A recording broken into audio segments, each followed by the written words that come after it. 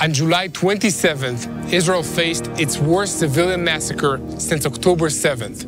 Hezbollah launched an Iranian made Falak rocket that hit a soccer field in the Druze town of Majd Shams, killing 12 children and injuring 50 others. I'm Yair Pinto, and this is My State, a program about current events, my belief in God, and my journey in the Holy Land. And I'm standing today in Majd al Shams community soccer field, where these innocent young lives were tragically and brutally taken. Israel's Druze population is estimated at 150,000, about 2% of the total population of Israel.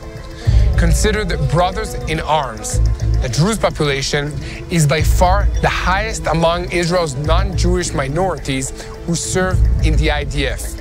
Since October 7, 10 Druze soldiers and officers have been killed in combat, eight in the fighting in the Gaza Strip, and two in the northern border with Israel and Lebanon. The Druze have also suffered damage to their homes and agricultural land in the Golan Heights, where most of them live as a result of Hezbollah shelling in the exchanges of fire on the northern border. But the Majd al-Shams attack was by far the most devastating blow, not only for the Druze community, but for every Israeli who collectively grieved the young lives that were lost and saw the strikes as a national tragedy. The locals of Majd al-Shams said that the soccer field was the center of life for those kids who were obsessed with soccer, and whenever anyone was looking for his kid, chances are they would come here first. The appropriate response was heavily debated in the days following the strike, including intensive diplomacy attempts aimed at curbing Israel's retaliation, fearing that it could lead to the region snowballing into an all out war. Ultimately, Fuad Shukr, Hezbollah's most senior military commander and a right hand man to the organization's leader Hassan Nasrallah, was killed by the IDF in a strike which blew a large hole into the side of an eight story apartment building in southern Beirut. Israel said he was responsible for the deadly rocket attack on Majd Shams. I am meeting Naela, a grieving mother who tragically lost her daughter, Alma, in this once serene and peaceful town at the foot of the Hermon mountain. I'm Naela. I'm a mother of three beautiful children, two boys and one girl. May she rest in peace. Alma, the sandwich. Brian is the oldest one, and Ilian, the youngest one. Mhm. They are so close to each other. They are 10, 11 and a half, and 13 years old. I am a teacher in the elementary school, math teacher. I believe in family. Yeah.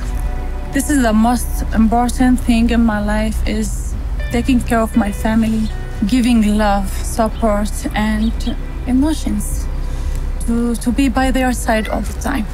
We have two Majd al-Shams before 27th of July and after 27th of July. It's a small village with a nice and lovely people. We love each other, support each other, care about each other. It's nice and beautiful in winter because of its snow, Hermon Mountain here. And in spring, it's all of it covered green color, delicious fruits. We love this place. We love to live here. I, in person, didn't imagine for a second to face this situation. All the time, my husband told me this mountain will protect us. But it happened. It Yeah. happened. I remember that day was a normal day. I brought Alma breakfast to her room, woke her up, kissed her, and she told me, Mom, I feel like having a breakfast in the balcony. So this is what we did. Later that day, I, I was attended in a relative's wedding, and their house had a view of Majd al-Shams.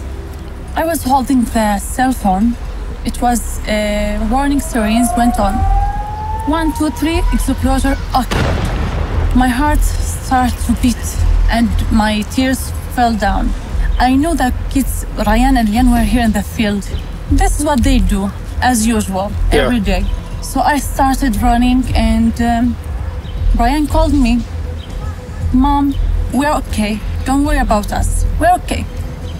So I called Alma. There was no answer.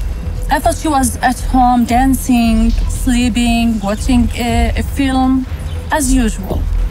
I went down to my house and went up to the second floor, wishing to hear her voice. I opened the door. Alma, where are you? Please let me hear your voice. I opened the first door, the second door, the third one. There's no Alma. So I went down to the field here and uh, asked the police Uh, if they saw a girl, one seven centimeters, blue eyes. They told me no, there's no girls among the victims. But I didn't imagine for a one person that she's here. Because usually she's a basketball player. She didn't. Not soccer. No, not Basketball. soccer. Not, not soccer. But my heart's still telling me something else. I'm not. I'm not comfortable about it.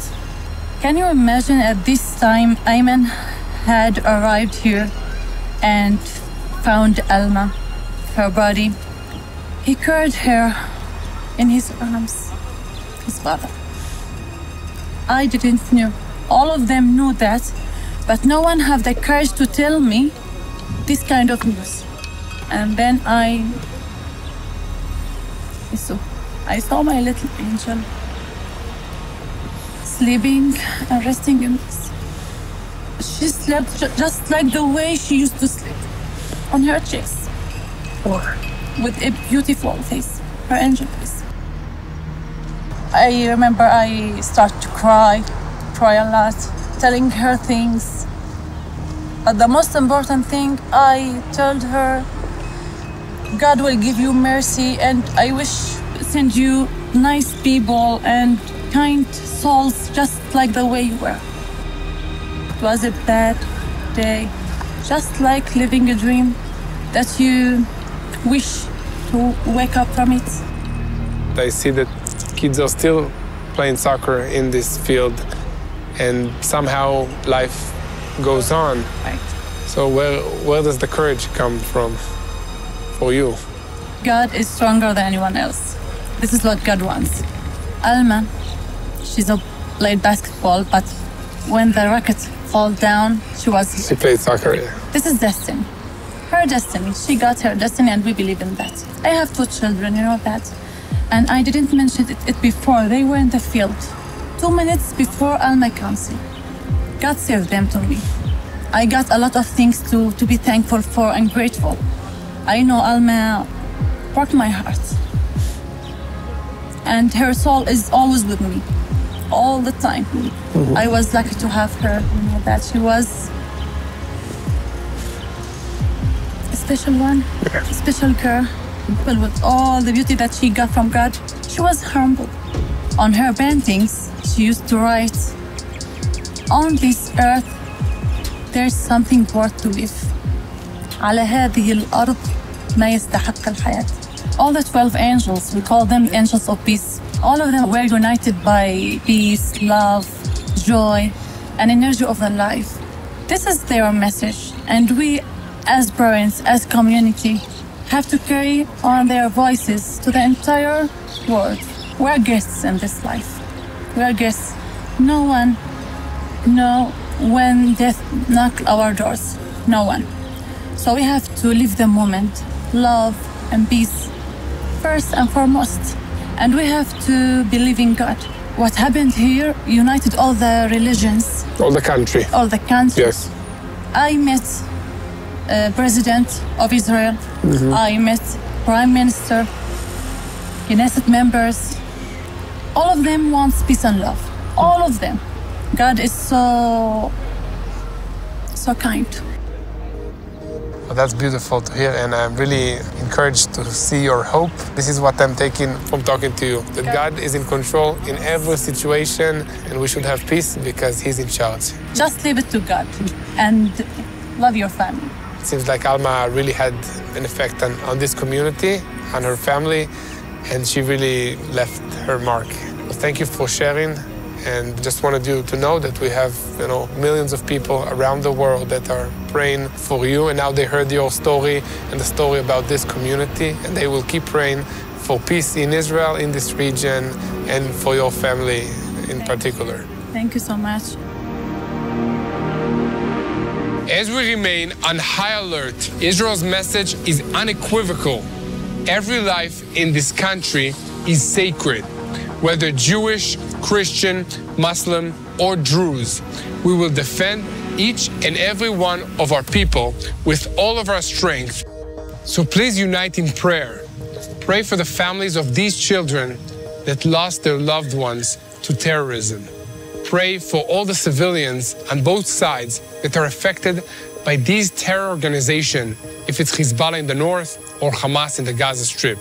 Please pray for the IDF soldiers that are risking their lives every day defending the country of Israel. Please pray for our allies in this region and pray for the leadership that they have wisdom to know what to do next. And the most important thing that all of you can do is unite in prayer for the peace of Jerusalem. Hello, this is Mati here in Jerusalem with TBN Israel. This is Yair Pinto from TBN Israel here in Jerusalem. TBN Israel is keeping viewers informed with Israel focused news, culture, and what God is doing in this land. Support TBN Israel today online at tbn.org/israel. Thank you.